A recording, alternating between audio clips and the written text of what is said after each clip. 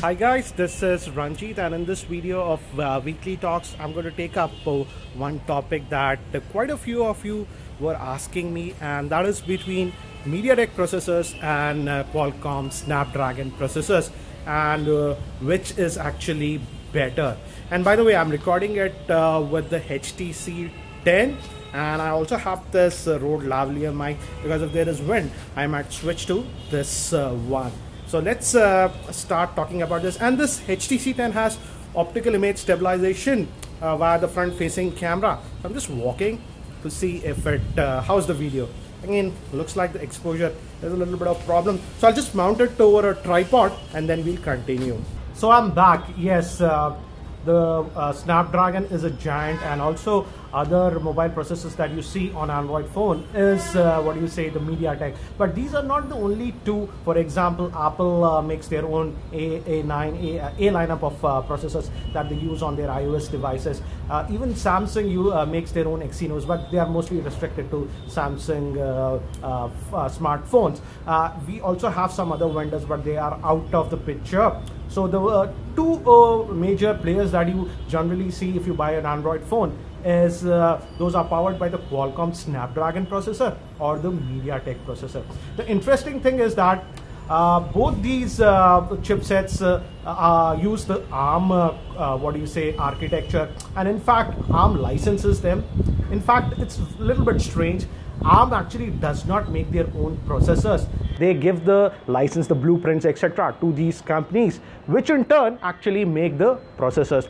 And it's a little bit different how they go about it. For example, for MediaTek, they generally just take the ARM's license and the blueprints and they just start manufacturing the processors. They generally do not do a lot of tweaking and additional, uh, what do you say, work on that processor and even in terms of GPU, uh, they use the ARM's uh, own Mali GPU in most of their processors. I wouldn't say uh, all MediaTek processors are bad or something like that, uh, but yes, uh, there are some differences. For example, uh, the what do you say? what was that? the MediaTek Helios X10 processor was a pretty good processor used in a lot of mid-range phones, and it had actually good performance. But one place where MediaTek falls short compared to what do you say Qualcomm based processors is that generally MediaTek processors when you push them heat up a lot. And also in terms of battery life uh, the Qualcomm co uh, counterparts do get uh, better battery life. Also when it comes to GPU performance uh, generally uh, the uh, GPU used on Snapdragon processors that's the Adreno processor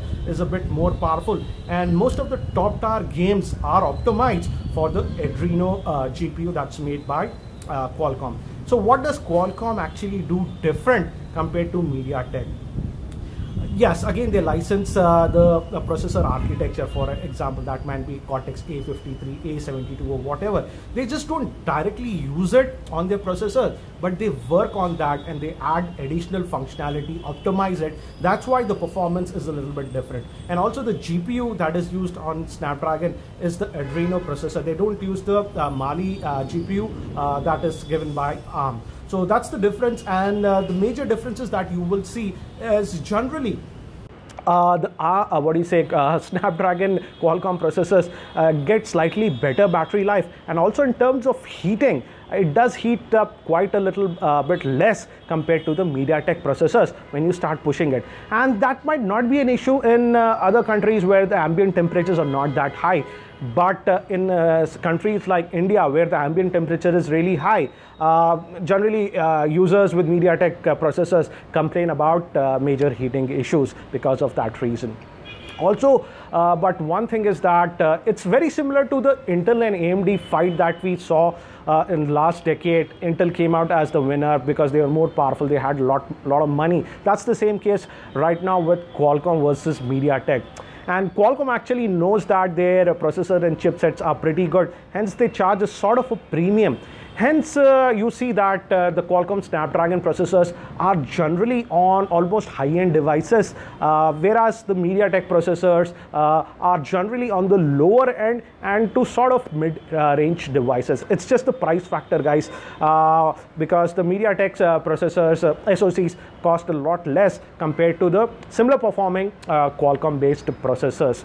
so, yeah the Qualcomm processors do perform a little bit better uh, I would say in terms of battery life and also they heat up a little bit. So again, you have to decide. But again, if you're on a very tight uh, budget, uh, I don't think so you'll find a great, uh, what do you say, Qualcomm Snapdragon processor. For example, uh, Qualcomm has this uh, Snapdragon 200 lineup of processors which are extremely affordable, but they are sort of junk. Hence, many of the manufacturers in the ultra low budget generally tend to use the MediaTek processor. But when we move up the, uh, what do you say, price range, uh, most of the manufacturers would prefer uh, the, what do you say, uh, Qualcomm Snapdragon processor. So I hope this uh, video makes sense. So yeah, indirectly you will pay a little bit more for a Qualcomm Snapdragon based processor, but you would get slightly better performance, better battery life and less heating compared to most of the other MediaTek uh, based processors. So again guys, I hope this uh, video was uh, helpful. Again, uh, do suggest me some of the other topics for next week's uh, weekly tech talks. I hope you like it. and if you're not subscribed to this uh, YouTube channel, hit that subscribe button. Thanks for watching. This is Ranjit and I hope to see you in my next video.